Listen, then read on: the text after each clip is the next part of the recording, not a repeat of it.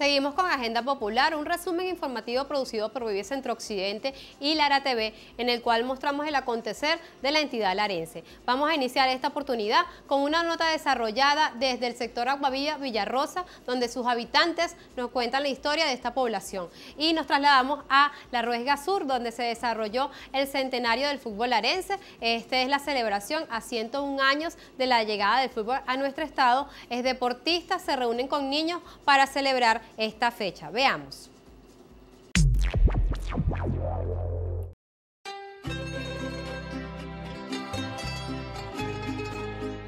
¿Qué era lo que hacían? Pues, artesanía, que si sombrero, que la alpargata, no hacían nada. Sí, hacían mucho siempre el sombrero de cogollo, que Ajá. llamaban. Y Sí. eso era lo que ustedes hacían. Ajá, sí, mi mamá por lo menos hacía mucho. Ajá. Sí, hacía. Ah, Y la claro. abuela también hacía sombrero de cogollo. Sí. Y la alpargata también hacía. La alpargata, la alpargata sí últimamente. Y con respecto a los linderos que ustedes conocen. Caramba, los linderos mm, eh, me dicen, no sé, que pasara allí, por aquí por Yamal, y subía hacia arriba la cual el viento, y caía por ahí donde llaman los pocitos, y salía aquí así al tutum. Ajá, de lo, lo que chorrea el agua para acá dicen que sí, que era la posesión linareña. Lo echan cuentos las, las conversas la gente, pues.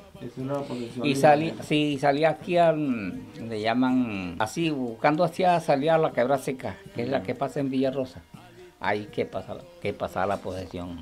Ah, Sí, ¿Por qué le llamaban la linareña? porque era, era de dos hermanos linares. Ah, Ah, Las, las casas más antiguas que hay ahorita aquí son esta, la de mi hermano y la, y la de mi hermana allá, del otro lado, que es la casa de donde ella vive. Ajá. Y son las dos casas más viejas, porque la de arriba, donde vive Rodrigo, esa, esa se cayó. Y ya últimamente tiene como la edad de esta. Cuando usted dice, usted habla de la costa, ¿qué, qué, ¿por qué salieron de la costa hacia acá a esta? Ah, porque el que vivía aquí era que Gregorio, Gregorio Sequera le dijo a mi papá que si viniera para acá. Ellos trabajaban juntos aquí. Sí, sí, ellos trabajan juntos todo el tiempo porque mi papá le trabajaba a, él el jornal, ganándose el jornal, que eso en esa época se ganaba un bolivita. Seis bolivas en la semana, como le parece. Pero eso alcanzaba para mucho. Sí, eso alcanzaba para mucho. Y la comida que se daba mucho también aquí. Sí. La, la siembra Ajá. de maíz, caraota y todo eso. Todavía yo, yo llegué al laboratorio ahorita que de- del 50 para acá es que está mañosa la cosa, pero sí. Ah, los hornos, sí. Ahí precisamente ahí mismo está uno, donde está Ricardo Parrillita. Ah, ahí está un horno donde, donde ellos quemaban. Hay mucho. que Hay bastante, sí. Últimamente se halla un cementerio ahí, pues eso se acabó ya, los acabamos nosotros. Acabamos nosotros sacando licor y oye, Ah, la cueva del viento. a la cual el viento Ah, ¿por qué sí. le llaman así? ujú. Ah, porque ahí que, ahí que salía un, un huracán un día dentro de una cueva y salí y volver a meterse así. Sí, la llamaban. ¿Todavía existe esa cueva? Sí, todavía existe la cueva del viento, lo que es que para llegar ya no, no se llega. O sea, no, no, no es que es lejos, sino que, que es muy alto el cerro, mucho más alto que el que se ve allá, mucho más. y- entonces, la cueva y que está en medio, En medio del sí, cerro. es un peñasco. Ajá. Sí, dicen que es, un- que es un encanto, pues, no sé. Sí, que es un encanto. Y con referente a lo de la mina, Ah, lo de la mina allí, eh, eso era porque salió un muerto ahí y pusieron la mina.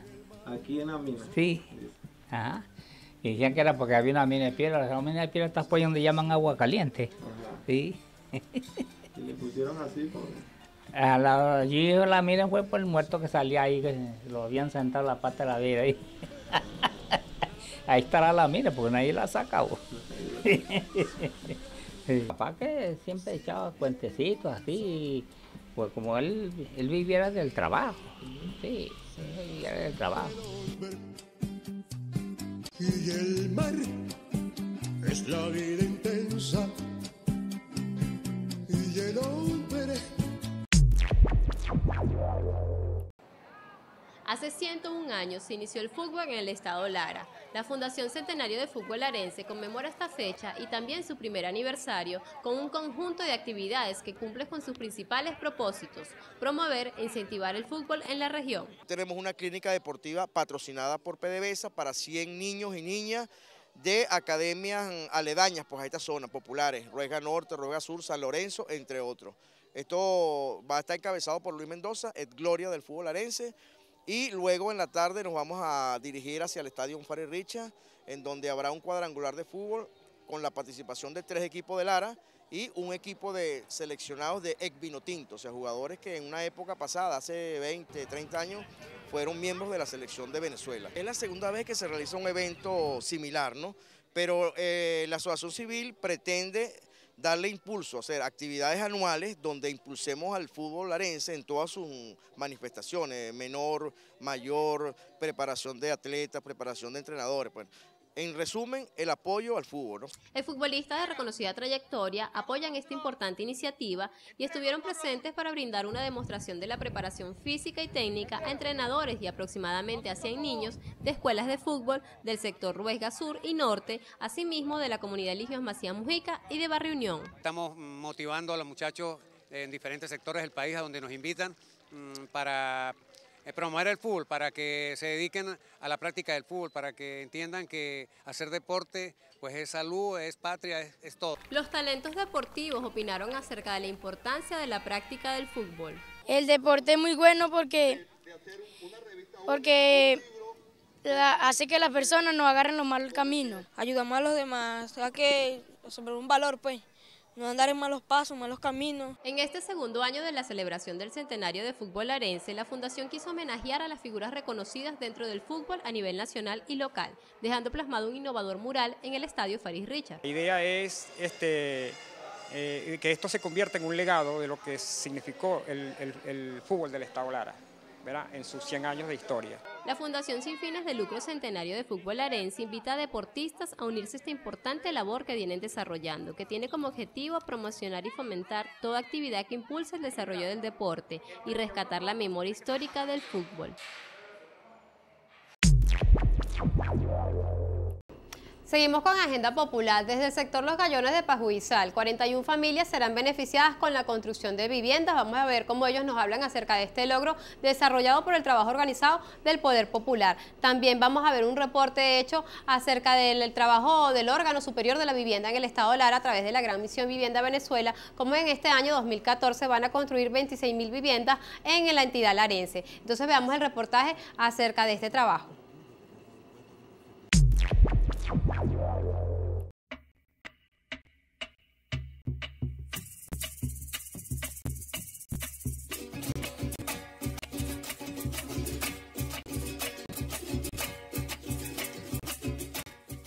Aquí estamos beneficiados un grupo de 43 familias que estamos ahorita en proceso de ejecución.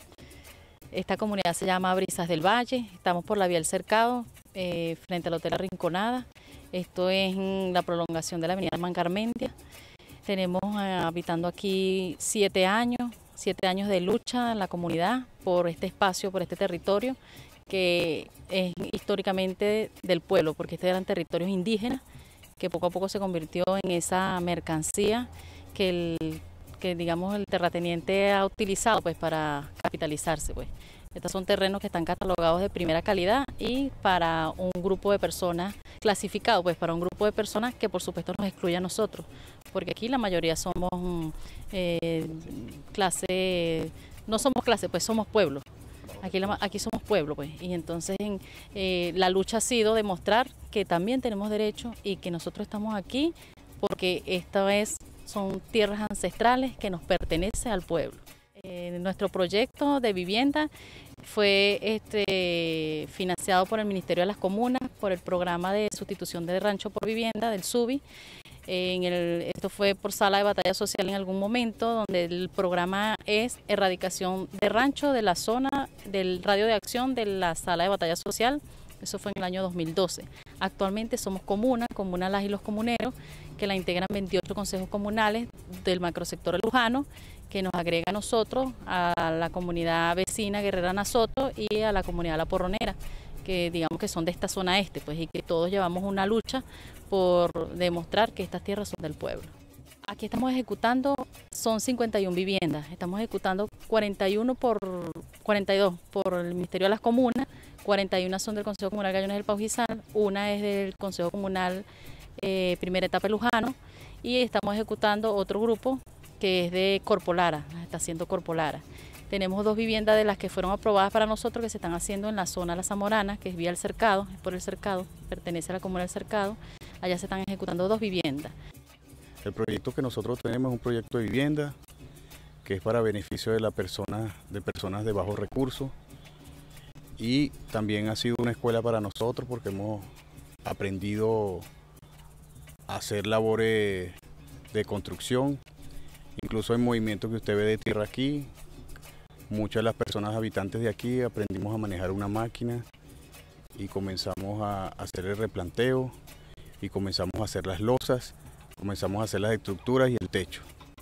Entonces el proyecto de vida que nosotros tenemos aquí es un proyecto de hermandad basado en lo que nosotros llamamos como revolución, eh, basado también en las normas cristianas y revolucionarias y estamos siendo dirigidos por todo un proyecto chavista. Entonces el proyecto de nosotros es un proyecto de vida, un proyecto para que nuestros hijos vivan bien, para que nuestros hijos estén habitando en un lugar armonioso. El proyecto de nosotros es un proyecto eh, de nuevos espacios comunitarios. Eso quiere decir que vamos a tener todos los servicios, incluso el gas. Vamos a tener asfaltado, agua, luz, cloaca. Vamos a tener todos esos servicios. Y bueno, aparte de eso, nosotros vamos a tener unos proyectos de socioproductivos. Vamos a tener en la parte de, aquí arriba, de, esta parte del cerro, vamos a tener unos, un, proyecto de, de, una nave que eh, vamos, a vamos a tener ahí tomate, lechuga, vamos a también por la otra parte del terreno también vamos a tener, vamos a hacer una prueba con unos adevines, con unos peces, a ver si aquí eh, tenemos una producción para apoyar nuestras comunidades y bueno, agradecidos porque ustedes vienen para acá. Y primeramente Dios, gracias por este, este espacio que tenemos aquí, este, este nuevo espacio comunitario y le damos gracias a la revolución, gracias a Chávez y también le damos muchas gracias a Maduro, al presidente Maduro, que con sus labores que está haciendo eh, nos ha apoyado a nosotros, a los que tenemos bajos recursos y, y la victoria sigue y Chávez vive. Gracias.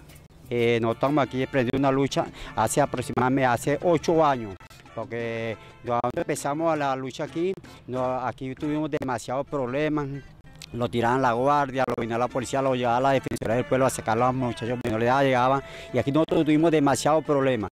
Eh, y nosotros tenemos habitantes aquí, somos 41 familias, ¿verdad? 41 familias que estamos en el proyecto de las viviendas, que ya es un hecho, porque como ustedes pueden observar, ya vemos ya las construcciones que están eh, ya la segunda fase, ya se va a concluir, quiere decir que es un éxito la lucha que hemos pasado.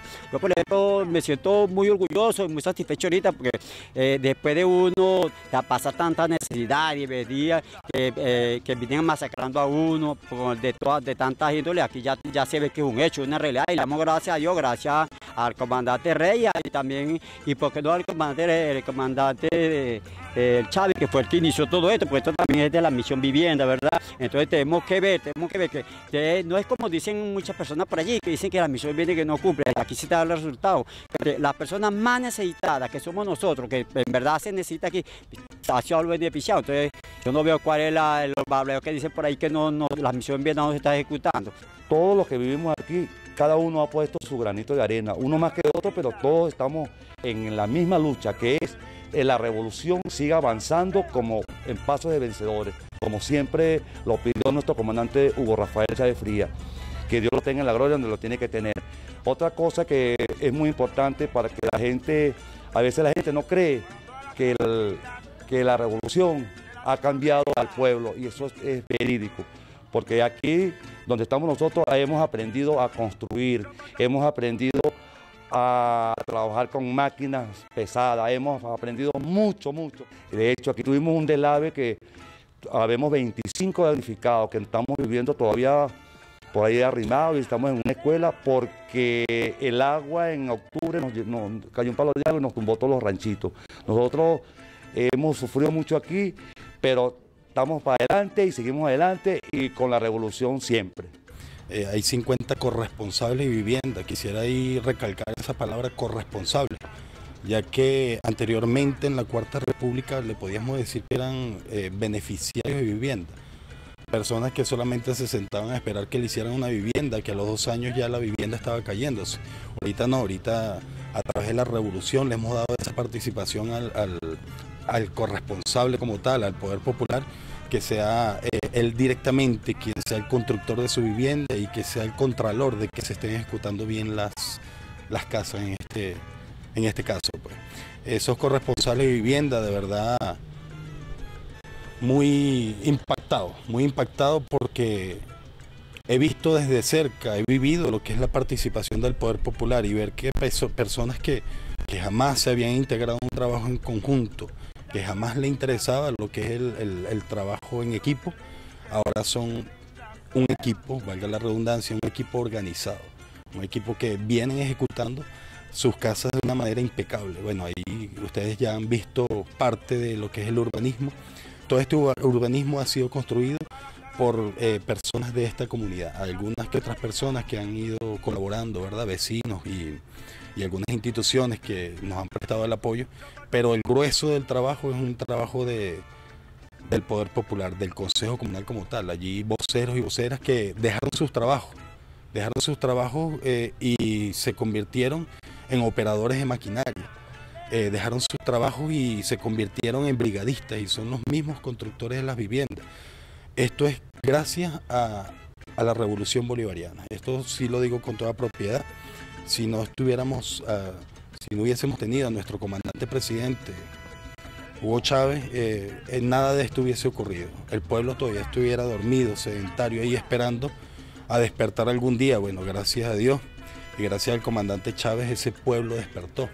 Ese pueblo ya sabe cómo, cómo ejecutar sus obras, ese pueblo ya sabe cómo organizarse, ese pueblo ahora sabe cómo defender estos logros que ya, que ya obtuvimos a través de estos años de revolución.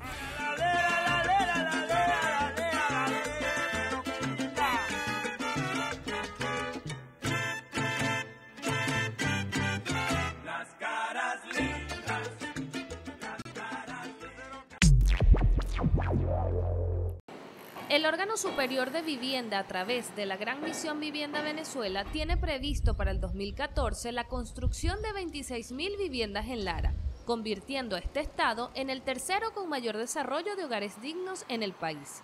Ciudad Bicentenaria, los urbanismos Che Guevara, Villa Productiva, Pedro León Torres y José Félix Rivas, además de Aves de Yucatán, son los complejos habitacionales que en la actualidad está construyendo la Gran Misión en Lara. Se aprobaron solamente en urbanismo, para comenzar en el estado Lara, casi 13.000 viviendas, solo en urbanismo, faltando por aprobar, que está en discusión, cuánto van a ser por el Poder Popular.